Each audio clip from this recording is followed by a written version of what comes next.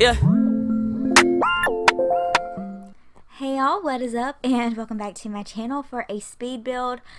So, yes, I have been kind of MIA for a while, uh, almost a month, and that's kind of crazy. I didn't realize it was that long, but, you know, I did say the very beginning of this pregnancy that things are probably going to be a little bit inconsistent just because um, pregnancy and, you know, your emotions and feelings and mood and you know, it just can be up and down. So, you know, we're not very consistent here, but that's okay.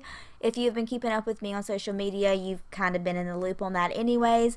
And I have already told you what you can expect from my channel in the upcoming months because I am eight months pregnant. So, I have a little less than two months left before my baby gets here. Eight weeks exactly is my due date. So, yeah, um, I've been doing a lot of grinding, even though it may not seem like it because, you know, I haven't been uploading, but I have been doing a ton of building. Y'all, I have so much content. Honestly, I just have to do the voiceovers, which takes a lot of energy, especially when I'm this far along. I'm out of breath. I'm trying to like slow myself down and talk calmly so I'm not like panting for y'all because I know that's just annoying. Um, but also, you know, I just, you know, just pregnancy, just this far along, it's just uncomfortable. So it's just like when I can get in the mood for a voiceover, it's like, hey, let's do it. So I'm kind of determined to just get some of this content out. So we're just doing the dang thing. So today we are building a cute little cottage. It's a family home. It's three bedroom, two bath, and I'm gonna call this Hideaway Cottage because it just is a little bay cottage. It's what it reminds me of. It fits, fits perfectly for Brindleton Bay. I really wanted to build in Brindleton Bay. It's been a while since I've really built um, here is, you know, apart from using the land and the the destin not destination, one of the aesthetic for maybe my Sims 3 to Sims 4 series, but just purely solely building a house that fits in with Brindleton Bay. It's been a hot minute. So I definitely wanted to build in Brindleton Bay, but I also wanted to build on one of these lots, which honestly I like, but they're not my favorite to build on because there's no driveway. It's well, there's no driveway period in The Sims 4 because we don't have cars, but you know, it's just kind of tucked away in the woods and I like that, but at the same time, it's kind of awkward. There, I feel like there's only certain houses, style houses, that look good on these lots, and I thought this one was perfect, so I've decided to call it the Hideaway Cottage because it's kind of hidden away. Um, so yeah, I think it turned out really cute, and by the way, I struggled with the roof, in case you have not caught on. I didn't really cut any of that out honestly kind of gave up on this build after I started it. I had a day where I, kid you not, started, mm, I think I started four different builds.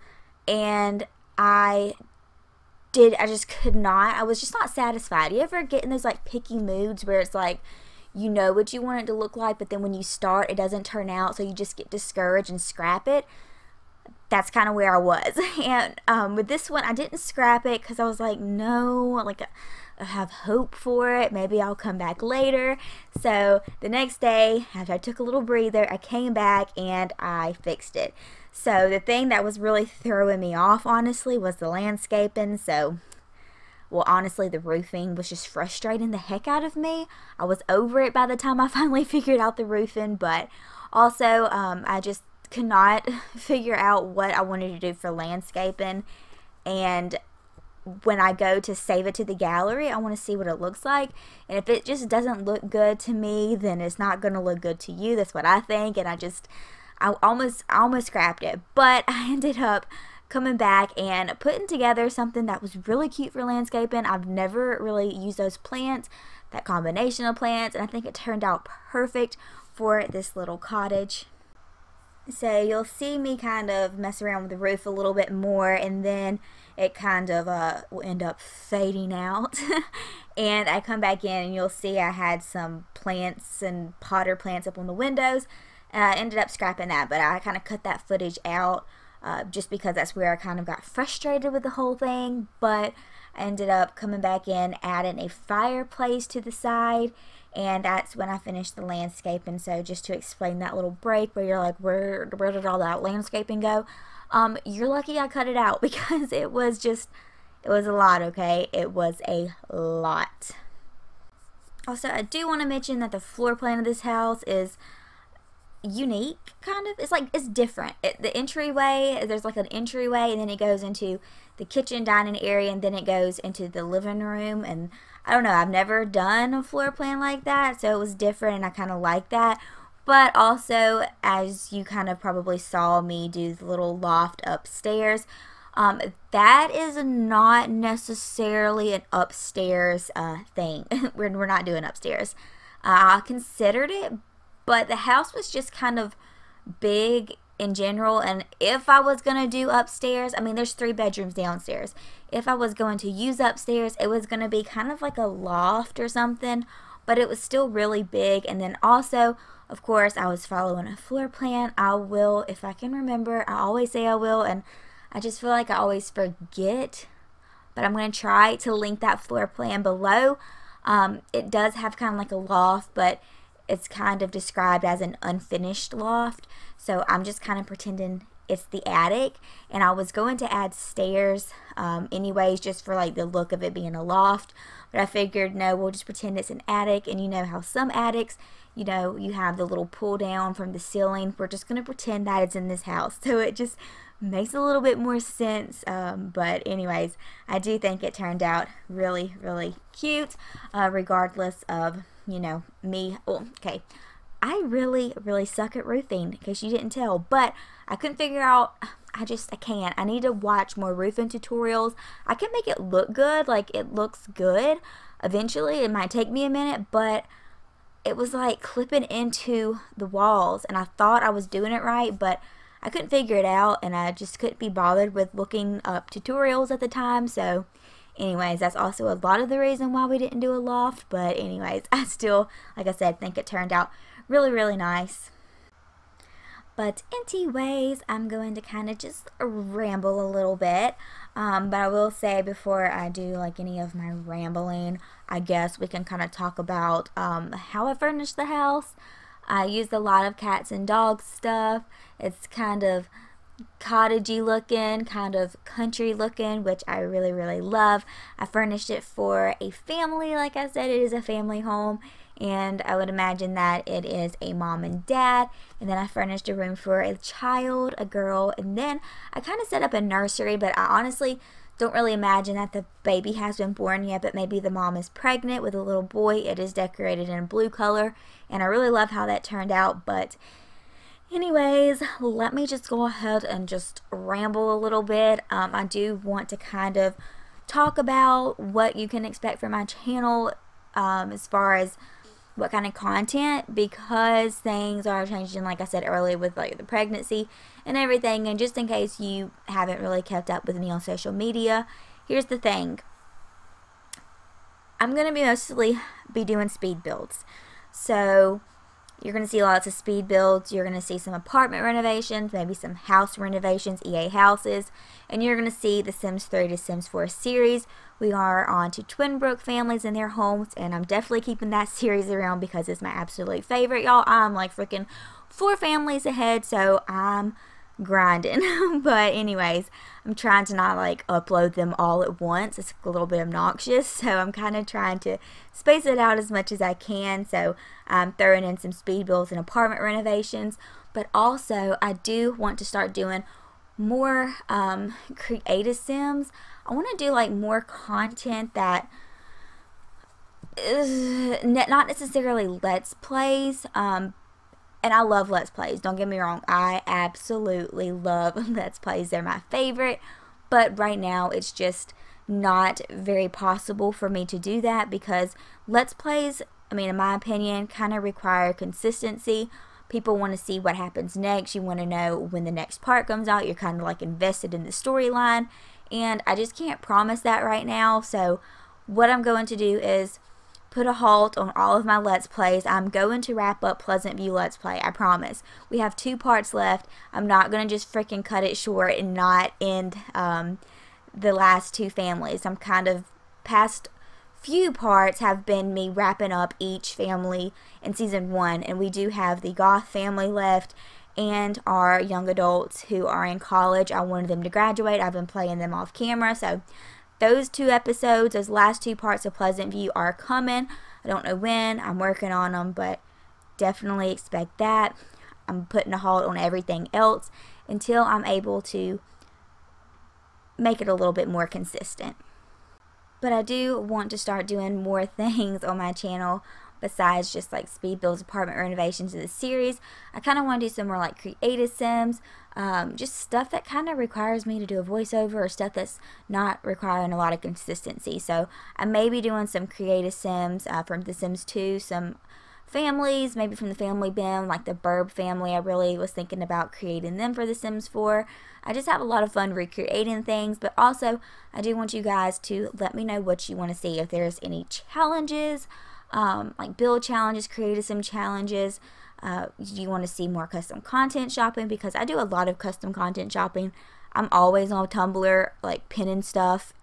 I have a lot. I stay pretty updated on my custom content. So if you guys want to see some CC shopping one day, just like anything, help me. Um, just not let's plays because like I said, we're, we're trying to be consistent here. So yeah, if you guys have any suggestions, please let me know. That'll help me out a lot. Just, you know, knowing what you guys want to see. But anyways, you guys, today is um when Tuesday, Tuesday that I'm doing this voiceover. I'm either going to upload it this evening, so it'll be Tuesday you see this, or Wednesday, but it is the 4th, June the 4th, that I'm doing this voiceover, basically. And we have four more days until EA Play, and if you're watching this, I want you to stop what you're doing, comment down below, and let me know what you think they're going to announce, which I'm pretty positive that is going to be um, the tropical expansion pack that has kind of been leaked out. I know that for the most part, most of the leaks that we've gotten in the past have been right. Um, and as far as like my opinions on that, I'm excited. I do like tropical stuff packs. I do live an hour from the beach, 30 minutes from one beach, an hour from the other. Uh, so I do go to the beach a lot. I do like the tropical living. Um, and I think that we really need that in The Sims. But I was really looking forward to having University next. But I do think that they're going to announce a lot of stuff for us because we've already kind of confirmed and we know that they're already working on the development of The Sims 5 and I don't think The Sims 5 is going to be out next year. I think maybe the next two years, maybe three, but I think two at the least. Um, so with that being said, I feel like The Sims 4 is kind of coming to a wrap and I feel like that they're going to kind of tell us what to expect with the next few packs. I don't think at EA Play they're going to announce just the next expansion pack um, because I also know that they did confirm on Twitter that there's going to be, I think it was what, 350 new swatches added to base game. So that must come with a new update or something, which is crazy. 350 new swatches, and that's just base game. What? I'm so excited about it, you guys. It's not even funny. There are so many build items, me being a builder. Uh, it gets it gets a little frustrating sometimes when you have to use the same stuff over and over again. Um, I just want to see more colors, um, so I'm excited. Definitely want to see more colors to some of the couches. Um, I don't know. I mean, 350. I mean, they could add something to everything. I mean, that's just crazy. But yeah, I think that they're just going to kind of tell us what to expect because things are wrapping up. So I think they're going to tell us, hey, we have this expansion pack coming here uh, this summer, this one coming in the fall. Here's the next game pack, stuff pack, whatever. I think that would be really cool. I think that's what they're going to do just because they said they have a lot to announce. Uh, but I don't want to get my hopes up. and I'm kind of frustrated because, you know, everything's kind of been leaked, and unfortunately, I'm not invited to EA Play. And even if I was, I would not be able to go. I am uh, eight months pregnant. Uh, but there's a lot of us that don't have the privilege to get to go to EA Play, so I was kind of annoyed that they was going to announce it at EA Play. because I mean, not everybody gets to go to EA Play. Can we just like have the announcement, tell us what it is, and then those who get to go to EA Play experience beforehand? That's kind of what happens anyway with the EA Game Changers, which is great. I do appreciate the EA Game Changers. I want to be one, as we all do, but um, yeah, they get to see things first and play and experience things first. So I just kind of want to know before them, and then, well, not before them, we'll know at the same time, but then them experience it first. I mean, I understand that at EA Play, they're going to announce it to everybody. We're going to get to see it um, Saturday, the live announcement too, but I'm not there. I want to know now. So I've, I'm impatient, y'all. I'm so freaking excited to find out what is coming because I'm kind of a little bit bored with everything that we have right now. It's time for something new, and I'm ready. And I will say that my expectations are high, even for this tropical pack that we're supposedly getting next. Um, I am going to be so disappointed, and I do not complain a lot when it comes to, um, like when it comes to the Sims. Like I, I don't complain a lot. I don't agree with like everything that they do, and I will like share my opinion but I don't bash or anything like that and drag the sim gurus and everything, but I'm going to be solely disappointed if this tropical thing that we have coming is just a tropical vacation world. I don't want a vacation world. I don't want this to be a game pack where my Sims can go to the beach on vacation. I want a tropical world, like Tropical Paradise in The Sims 3, that my Sims can live in. I want a beach themed world that my Sims can live in. I want to build beach houses. I want beach aesthetic and I want them to be able to live there. I don't want them to be able to go and have to, you know, stay there. I mean, I'd, I'd never take my Sims on vacation. I honestly don't do a lot of gameplay, but even when I do, it's just not something I'm into. I'm not, you know. And maybe we can have resorts and hotels. Um, that would be really cool. I know that was a big part of um, Sims 3 Tropical Paradise too. I think that's what it's called. Is it Tropical Paradise? Paradise Island? Tropical Paradise? I don't remember. But anyways, um, there was resorts, but was also in the world. So I think that would be cool if you was we had a lot more lots. I know in the past few expansion packs we haven't had a lot of lots. I feel like the world sizes have gotten smaller. So I really hope that this one isn't the same. Hope it's, you know, a little bit bigger, you know. But anyways, I think it'd be really cool if it was a world that you could live in, but also maybe there'd be resorts maybe one or two or three, or you could build your own, whatever, um, that you can kind of like manage and go to and visit and stay at. So you kind of get the two in one feel. You get the bigness of the Sims 3 world all in one. You can live here, or you can visit from San Myshuno and come and stay at a beach hotel. You know what I'm saying? That's just like different. It's like a vacation, but not a vacation world. And I don't know if that's possible in The Sims 4 just by um, what I've seen in the past or what we've seen in the past, but that's what I'm hoping for. Um, and I do hope that they announce that we are getting university or some kind of school pack coming in the fall because I was anticipating that to be next, but it does make sense for something summer and tropical in the summer and then something more school related in the fall. But, anyways, that's my thoughts about EA Play and this announcement, what's coming to The Sims. So, if you're still with me and you're still like enjoying this um, speed build, maybe not me rambling, but I do want to know your opinions on what you want to see and if you are excited about it and if you agree with me, disagree with me whatever's, just let me know in the comments down below. Anyways, so back to the speed build, we have been doing like the interior for a while now, and uh, I hope you like it. I think it's very cozy, I think it's very cute. Um, I don't know what's wrong with my editing software. I use Filmora Wondershare, and I did update it a while ago to Filmora 9, and I had a lot of trouble with it at first, just trying to figure out how to work it um, because for the longest time in the previous version you had to render the video before you could do like a voiceover because if you didn't it'd be very choppy and you would be just all over the place it was just not adding up to where you currently was when you was talking do you know what I mean okay well Filmora 9, if you use Filmora 9, you probably know the struggle. There's no render button, but it's supposed to cut down time editing, which it does, which is great. But um, for some reason, I've just had a really hard time. I don't know, maybe if I, I don't know if there's an update available, I might need to check, but the past few weeks I've tried to come on and do voiceovers, and there's a huge, huge lag in the game. or not in the game, but in the voiceover part. So when I'm editing, it's fast. I know where I'm at. I'm flowing, you know, but then when I go to do the voiceover, it's very choppy and all over the place, and it's just a pain in the butt. So right now, I do believe we are on to the master bedroom. so I hope that's right. But anyways, um, master bedroom is probably the least favorite part of the house. And only reason is because it's kind of odd shaped. I did go in and add closets because I usually try to do that in my builds just because closets really add to a build or add to a room if you ask me. Um, it's just realistic. So I did go in and add those closets, but this room is just big. It's kind of long and kind of awkward.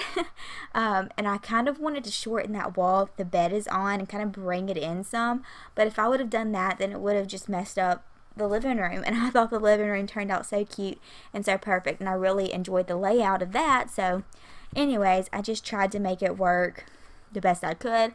I put a desk in there with a laptop. Not really sure, and I didn't really think too much about it when I went in furnishing for this family, you know, what kind of career occupation that the parents had, but obviously wanted them to have like a little computer space, um, an area for them to pay their bills and do all of that. Um, they do have a master ensuite, which I think turned out so cute. I'm just like very pleased with the floor plan of this house and how it all just like turned out. Um, because I feel like every house that I've done as far as like speed builds in the past have been very boxy. And it's not because I don't know how to do anything but a box, but because nine times out of ten I'm following a floor plan and that's just how the floor plan looks. Um, which is fine. It's cute. Boxes can be cute, you know, rectangles, boxes, you can make it cute. But as far as like the rooms being so boxy and square and rectangle, it just kind of gets old. And I do like for, you know, closets and bathrooms to kind of have like those little indentions and walls in, walls out. You, you know what I'm talking about? I don't know. I just appreciate this floor plan. I really do like it a lot. but the master bedroom just could have been better in my opinion. I just didn't know what to do with the walls on either side of the bed. I just didn't want to put too much on the walls because sometimes it just can look overdone. If there's like a picture on every single wall, it just looks a little bit too busy. Um, so I kind of like struggled, but overall, I think it's okay.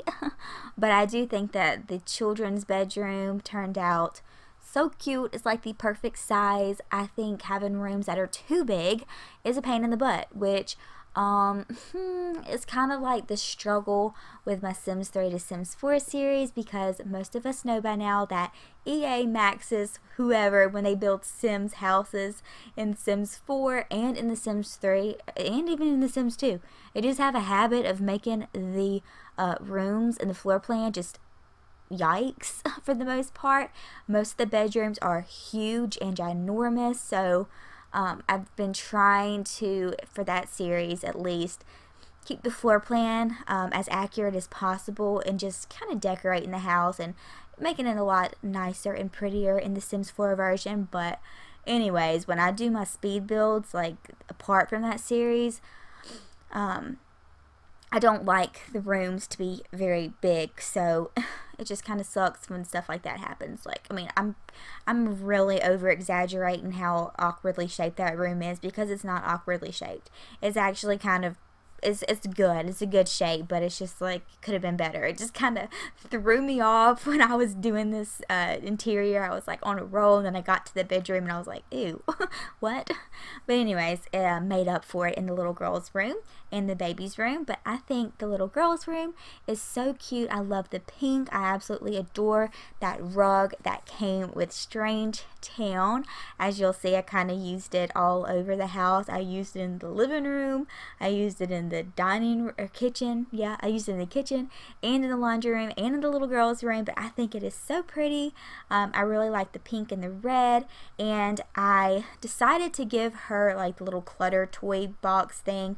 And I put the little doctor set in front of it and then on her desk I added some of the toys that you would find at the toy chest because like I said her room was a little bit smaller so I didn't have a lot of room for a toy box but I do like that clutter item. I think it looked better so I ended up just putting her some toys on her desk so she can play with them your child can play with them but I kind of think it makes sense for them to kind of carry it around in their inventory. I like to see my Sims um, my kids take out a toy in the living room and you know play while the parents are watching TV or the parents are cooking or something like that just because it's realistic. But anyways I think the little boy's nursery turned out really cute too. I've never done that color scheme just uh different you know it's different it's cute. I like the blue I like the teal I like the cream of it all. And I honestly didn't do too much the boys nursery I didn't clutter it too much. Uh, I kind of wish I would have put you know the debug um, lotions and diaper and a little bit more on the little makeshift changing table I made but honestly just was kind of over. I was ready to finish this build. I've been working on it all morning. I woke up this morning at before 7 o'clock in the morning, I woke up uh, because the baby's kicking me and I gotta pee. So I couldn't go back to sleep, so I started on building. But, anyways, um, I think I did a pretty good job cluttering the rest of the house, so it's alright. but in the outside back porch area, I just gave them, you know, a little picnic table and grill area, little seating area, and then I gave the children a little swing set to play on and a few planter boxes because the lot wasn't very big to do much, but nonetheless, I think it turned out really, really cute, and I hope you guys like it, and if you did, be sure to give it a big thumbs up. It is available for download on the gallery. Subscribe if you haven't. Let me know what you think about EA Play and, you know, some suggestions for my channel, what kind of content you want to see, and the comments down below. I love you guys so much, and thank you guys for watching watching. Bye.